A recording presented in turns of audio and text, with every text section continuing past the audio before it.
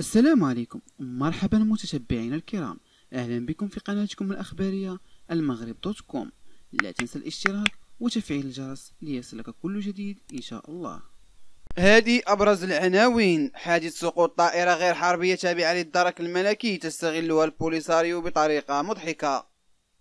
سقطت طائرة غير حربية من نوع aircraft التابعة للدرك الملكي المغربي في مياه المحيط الأطلسي بمدينة الداخلة حيث نجا كل من كانوا على متنها وهم أربعة عناصر تابعة للدرك الملكي المغربي.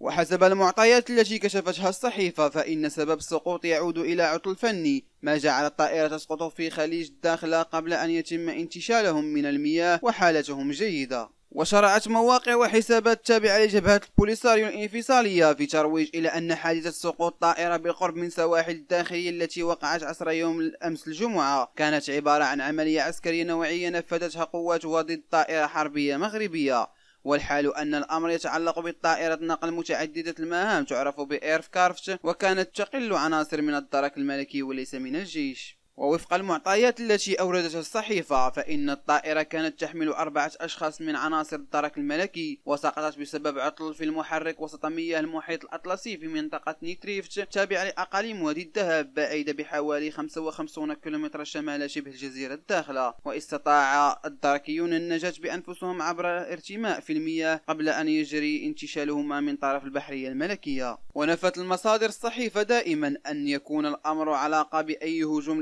استهداف الطائرة مبرزا أن المنطقة التي وقعت فيها الحادثة بعيدة جدا عن الجدار الأمني سواء الشرقي أو الجنوبي وهي القرية صغيرة يعمل سكانها بشكل رئيسي في المجال صيد السمك إلى جانب بعض الأنشطة التجارية ولا يستطيع المسلح والبوليساريو الوصول إليها. وعادة ما تسوق وسائل الإعلام التابعة للبوليساريو للعديد من الحوادث العريضة على أنها إنجاز عسكري على الرغم من أنها في أغلب الأحيان تكون مستحيلة المنطقية نظرا لعجز عناصرها عن الاقتراب من الجدار العازل بسبب استهدافهم بواسطة طائرة مسيرة بل إنهم سبق أن استعانت بصور وهجومات وحوادث من دول أخرى ونسبتها لنفسها.